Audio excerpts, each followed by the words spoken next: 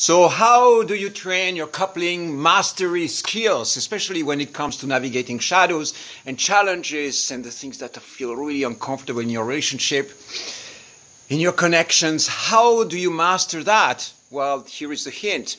You've got to be exposed to those situations to discover the energetic and emotional response that is the most adapted, most masterful to what you are, you know, being exposed to in the relationship. We are talking about when your partner is having challenging shadow emotions, right? So how do you train your energetic or emotional response uh, to what's happening?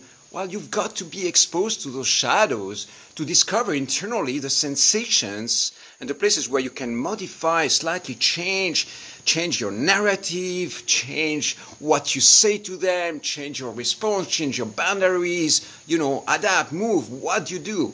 And so this is an art form. I can give you different sequences and different possibilities and different strategies, tactics on how to respond to your partner's shadows, but all that is going to be just in your head if it's not embodied, integrated. So rationalizing it is really an important step, right? Understanding the landscape and the strategies, what is mature and what is immature, all that is really important. It's important to understand it mentally.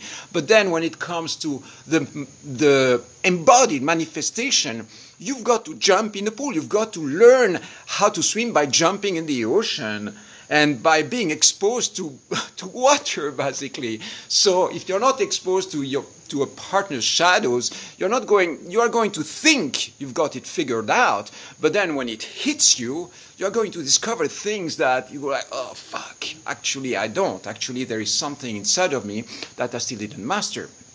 And one of the you know one of the traps when you when there is a shadow in your partner's uh, field, it is to go into reactive mode.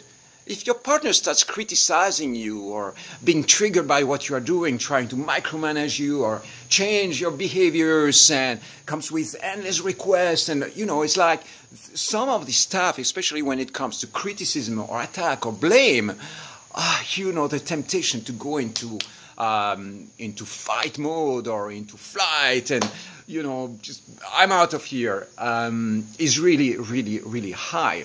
And so instead of getting you know god knows maybe defensive and reactive and fighting back yeah but what about you? You know and you start uh, entering into these blaming attacks and wars you go like no just just stay present discover where is it hitting you? Where is it triggering you and uh, you know, I'm talking out of experience. I've been in you know many relationships, and sometimes I go like, what fuck? I miss the opportunity to just stay present with what my partner was saying, and be like, okay, okay, that feels uncomfortable, and notice it, the place inside of you, and instead of going reactive. You just like move your body, this, you know, you feel how it feels. Oh, wow, it hurts. There is sadness, or there is rage, I can feel it boiling, but don't go into action, don't go into reactive mode, and stay present, you know. keep it going, keep it coming, you know. That's something that you can do with your partner. You can invite your partner to be real, real, even if what they are expressing is not necessarily mature. It might, they might be coming from a very mature place. Maybe what they are saying is completely not true. You cannot relate at all to what they are um, you know, projecting on you maybe or projecting in their own field. But guess what? It's like it's going to be a really interesting experience to allow this this fire to to hit you in different places and potentially be simply present with it. That's one of the possible responses, you know, to just feel it in your system. Feel how this impacts your field. Feel why it triggers you.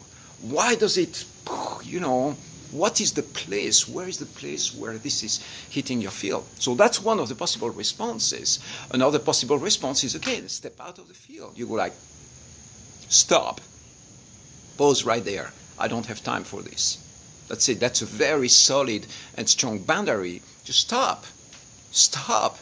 I don't have time for this right now. I would love to hear what you have to say, but we're going to create another container, another time, and we're going to both sit down, have a check-in, and see what's alive inside of you. So that's a valid response as well.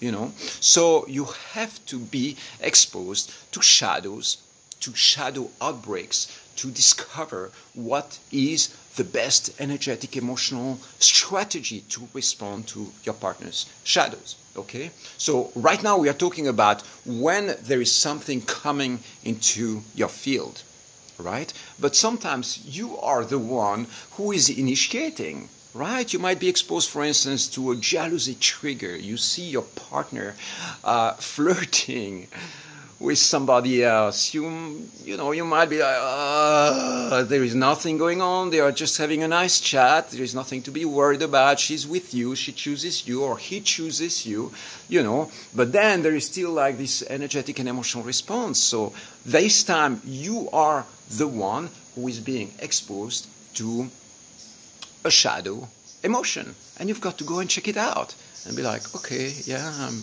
getting triggered, I'm getting a response, eh, I'm entering into reactive mode. And then you go like, what do I do with this? How do I circulate this energy? Do I change my narrative? Do I change the frames that I'm, I have in my mind, the belief systems that I have around that? Uh, does this trigger some old traumas of cheating episodes? You know, all that. It's really important to go and, and be exposed to it so that you can actually go like, okay, yeah, there is some shadows there. Now I discover the strategies and the pathways to, uh, to modify, adapt, transmute, and move from immature responses to mature responses when there is a shadow outbreak in your relationship or in your coupling experience. Right?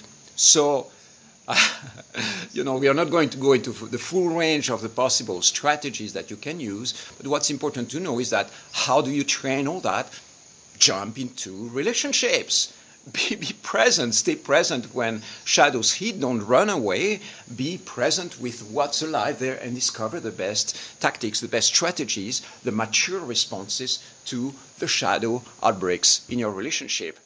The other, in other terms, you've got to practice, practice a lot by being in your relationships and being exposed to, to shadows. If you want to be a shadow master, that's what you need to do, okay?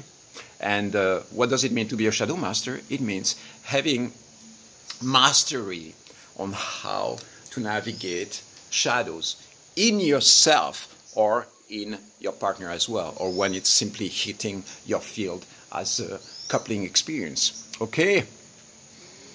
Amazing. Well, if you want to know more about all that, I'm doing immersions. Go and check on my website, vitalcoaching.com, and you can message me on WhatsApp. Um, yeah, go figure it out. You know how to find me. and um, yeah, we can do one on one sessions if you are somewhere around the world and you have no idea how to navigate uh, what's happening in your relationship. I'll be happy to give you a hand. Okay, love you.